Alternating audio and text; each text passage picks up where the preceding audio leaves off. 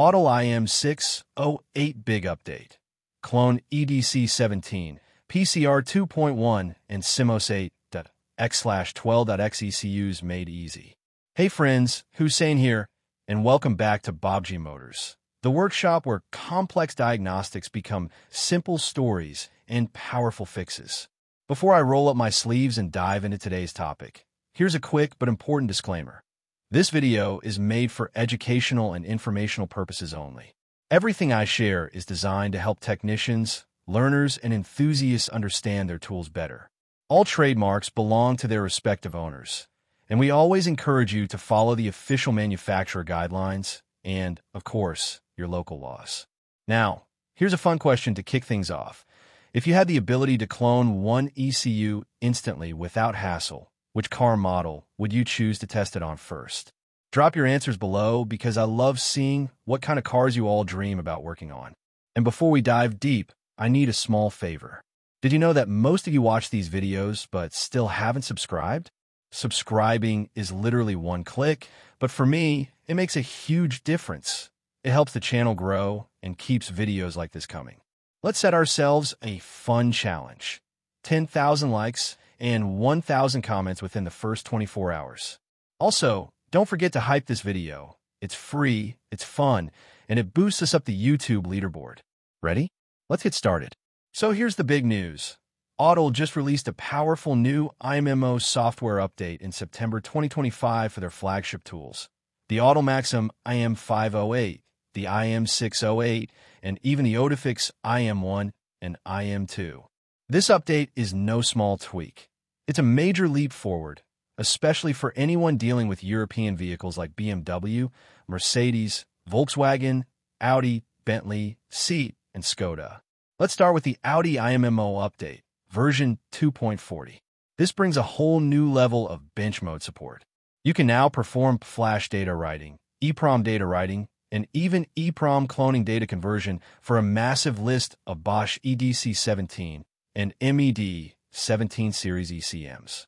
We're talking models like the EDC17CP04, EDC17CP14, EDC17CP20, including the Crafter variant, EDC17CP24, EDC17U05, and then diving into MED17 series, such as MED17.1, MED 17.1.1, MED 17.1.21, all the way through to newer variants like MED 17.1.61 and MED 17.1.62. In other words, if you're dealing with Bosch ECUs on Audi vehicles, this update gives you powerful cloning capabilities right the bench. But that's not all. The update also supports Siemens and Continental ECUs, specifically PCR 2.1, SIMOS 8.3x through 8.6x, and Simos 12.1 and 12.2. Here, you can now perform flash reading and writing, EEPROM reading and writing, IMMO data calculation, and full EEPROM cloning data conversion, all directly in bench mode. This is a huge breakthrough for technicians because it means you can handle cloning and programming without needing to remove or swap ECUs the hard way. Autel didn't stop there.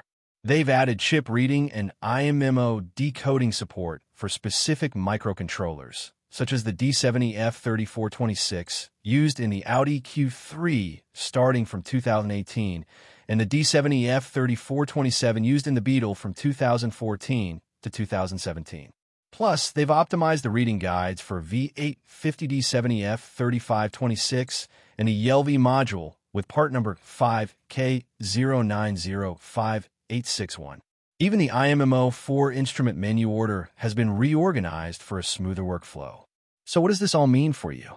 Well, with the IM608 or IM508 paired with the XP400 Pro programmer, you now have the ability to clone EDC 17 series ECUs, as well as Siemens and Continental PCR 2.1, Simos 8.x, and SIMOS 12.x ECUs directly on the bench.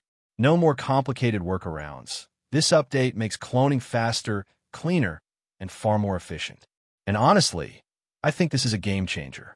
Autel is clearly paying attention to what technicians need in the field And by expanding cloning and data conversion support to this many ECUs, they just made life much easier for anyone working on Volkswagen Group cars and beyond.